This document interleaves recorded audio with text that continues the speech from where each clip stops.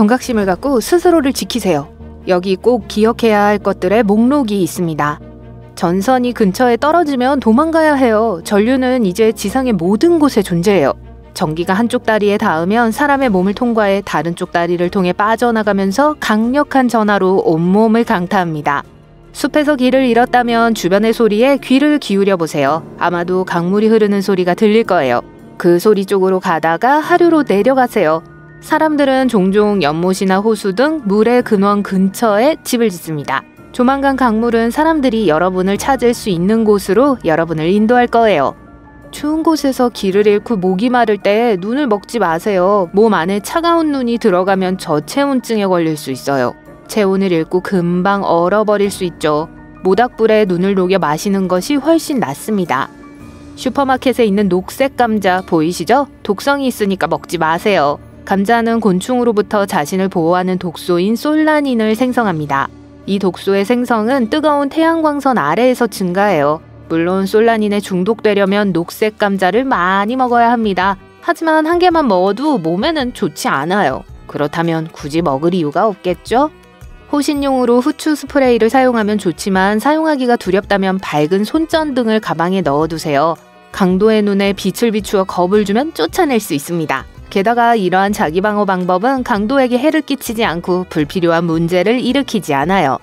기름이 담긴 프라이팬을 켜진 가스레인지 위에 그대로 두면 기름에 불이 붙을 수 있어요. 이런 상황에서는 물로 불을 끄면 안 돼요. 물 분자가 냄비 바닥으로 내려가 증발하면서 기름을 위로 밀어 올리기 때문이에요. 그러면 불길이 더 커질 수 있어요. 뜨거운 기름 불을 끄는 가장 좋은 방법은 산소를 제거하는 거예요. 팬을 뚜껑으로 덮고 버너에서 분리하세요. 화재에서 가장 무서운 것은 화염이 아닙니다. 연기가 훨씬 더 위험해요. 일산화탄소를 흡입하면 매우 빠르게 중독될 수 있어요. 그러니까 항상 가능한 한 바닥에 가까이부터 젖은 천으로 입과 코를 가려 산소를 차단하세요. 캠핑을 갈 때는 항상 작은 거울이나 호루라기를 주머니에 넣어두세요. 이 두 가지 아이템은 길을 잃었을 때 일행을 찾는 데 도움이 됩니다. 호루라기는 소리로 다른 사람의 주의를 끌 수 있고 거울은 햇빛을 반사해서 주의를 끌 수 있죠. 해안가 근처의 바다에서 수영할 때는 이안류에 휩쓸릴 위험이 있습니다. 이안류는 해변에서 점점 더 멀어지게 할 거예요. 조류를 거슬러 해안가로 헤엄치려고 하지 마세요. 에너지만 낭비할 뿐이에요. 이런 경우 항상 해안과 평행하게 헤엄쳐야 해요. 해류에서 벗어나면 안전하게 해안으로 돌아올 수 있습니다. 차가 철로에 갇혔다고 상상해 보세요. 당황하지 마세요. 우선 모든 승객을 차에서 내리도록 하세요. 그런 다음 119에 전화해서 사고를 신고하세요. 각 건널목마다 특수 번호가 있습니다. 경찰에게 번호를 알려주면 기관사에게 지정된 구간에서 정차하라고 경고할 거예요. 군중 속에서 불편한 상황이 생기면 주변에 있는 모든 사람에게 도움을 요청하지 마세요. 아무도 도와주지 않을 가능성이 높아요. 사람들이 나빠서가 아니라 지나가는 사람들이 서로 다른 사람이 도울 거라고 생각하기 때문이에요. 하지만 한 사람을 골라 도움을 요청하면 도움을 받을 확률이 더 높아집니다. 모든 자동차에는 외부 공기의 온도를 알려주는 장치인 온도계가 있습니다. 때때로 제조업체는 센서를 엔진 근처의 앞범퍼 뒤에 설치하기도 해요. 주행 중에 온도계는 엔진에 의해 가열되어 더 높은 온도를 표시해요. 외부가 춥더라도 장치가 따뜻하다고 표시할 수 있죠. 따라서 온도계가 이런 식으로 설치되어 있다면 온도계를 신뢰하지 마세요. 도로에 얼음이 조금 있는데 아스팔트가 완전히 마른 상태라고 확신하고 운전하고 있는 것일 수도 있잖아요. 냄새가 나시나요? 집안에서 갑자기 강한 생선 비린내가 난다면 어떤 방에서 전기 화재가 발생했다는 뜻일 수 있어요. 콘센트나 어댑터에 불이 붙어 이 불쾌한 냄새가 나는 거예요. 일반 베이킹 소다를 사용하는 것도 화재를 진압하는 좋은 방법입니다. 소화기가 없거나 물을 사용할 수 없는 경우 이 가루를 뿌려 불을 끄세요. 또한 베이킹 소다는 포식자로부터 냄새를 숨길 수 있습니다. 숲에서 길을 잃었을 때 늑대나 곰이 내 냄새를 맡는 것을 원하지 않을 때 유용해요.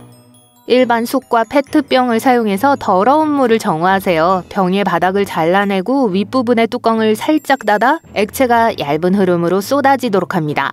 거기에 숯을 넣고 물을 조금 넣으세요. 그리고 숯을 여러 번 통과시키세요. 그런 다음 물을 가열하고 끓입니다. 이제 갈증을 해소할 수 있어요. 야생에 갈 때는 항상 껌을 가지고 가세요. 길을 잃었을 때 껌을 씹으면 스트레스 해소에 도움이 돼요. 이 재료를 접착제로 사용할 수도 있어요. 자동차 열쇠는 항상 침대 옆에 보관하세요. 도둑이 집에 침입하면 열쇠로 자동차 경보를 켜서 도둑을 겁줘서 쫓아내세요. 하지만 집에 좋은 보안 시스템을 설치하는 것이 훨씬 더 좋습니다. 스키나 스노보드를 타는 동안 눈 사태에 휩쓸릴 가능성은 항상 있습니다. 눈 아래에 갇힌 경우 즉시 빠져나오려고 하지 마세요. 정신이 혼란스러우니까 어디가 위쪽이고 어디가 아래쪽인지 파악해야 합니다. 침을 뱉고 침이 어디로 흐르는지 확인하세요. 그런 다음 반대 방향으로 파기 시작하세요. 비행기가 물에 비상 착륙하면 본능적으로 구명조끼를 즉시 착용해야 할 수 있습니다. 물에 들어가기 전까지는 구명조끼를 입지 마세요. 구명조끼를 입었는데 기내에 물이 가득 차기 시작하면 움직이기 어려울 수 있습니다. 따라서 먼저 비상구로 대피한 다음 구명조끼를 입으세요. 누군가 내 차를 뒤따라오고 있다고 느껴지면 우회전을 네 번 합니다. 이렇게 하면 한 블록을 한 바퀴 돌게 되죠. 그 후에도 차량이 계속 따라오면 가장 가까운 경찰서로 이동하세요. 밖을 걷고 있는데 머리카락이 솟아오르는 것을 보거나 느낄 수 있습니다. 빨리 대피소를 찾으세요. 번개가 치려고 하는 거예요. 안내견은 안내견이라는 문구가 적힌 특수 자켓을 착용하고 있습니다. 그런 개가 여러분에게 다가온다면 따라가야 해요. 아마도 누군가의 생명을 구할 거예요. 사람이 공경에 처하고 근처에 도와줄 사람이 없으면 개는 그들을 구할 사람을 찾기 시작합니다. 화재가 발생했을 때 방의 문이 닫혀 있으면 불길이 더 천천히 퍼집니다. 따라서 잠자리에 들 때는 침실문을 닫으세요. 그러면 잠시 동안 불길이 잡힐 거예요. 하지만 좋은 화재 경보기가 있는 것이 항상 더 좋다는 걸 잊지 마세요.